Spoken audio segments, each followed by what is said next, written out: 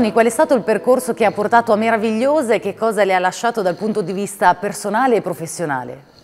Beh, percorso meraviglioso, sembra un gioco di parole ma è così perché parte da lontano, un incontro con questi bambini eh, straordinari, c'è stato proprio un, eh, quasi una specie di eh, masterclass sulla scrittura. Io li ho stimolati, li ho fatti giocare, li ho messi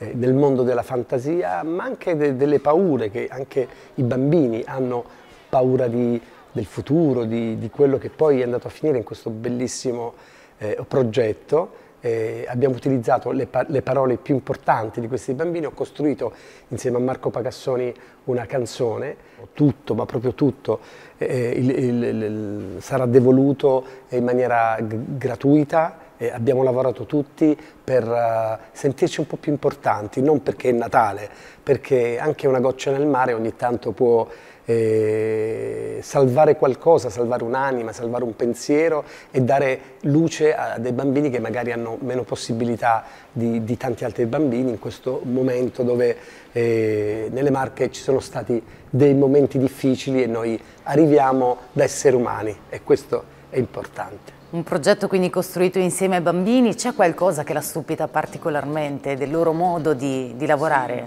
Sì, sì, ma proprio anche all'interno di queste parole che hanno scritto loro, poi io con Marco ho costruito la melodia, abbiamo arrangiato questo pezzo qui, e, e il, il loro, le loro visioni, il loro sentire, a un certo punto eh, ho chiesto loro cos'è l'amore, ecco, e lì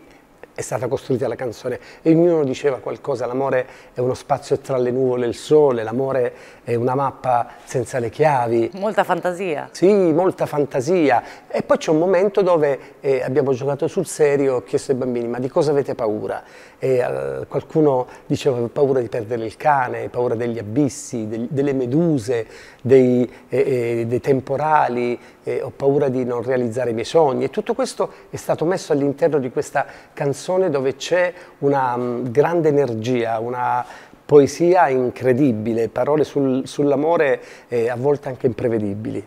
Ci vediamo a teatro? Ci vediamo a teatro. Ossigeno e calore, è un tramonto, un desiderio infinito, una corda che non si spezza mai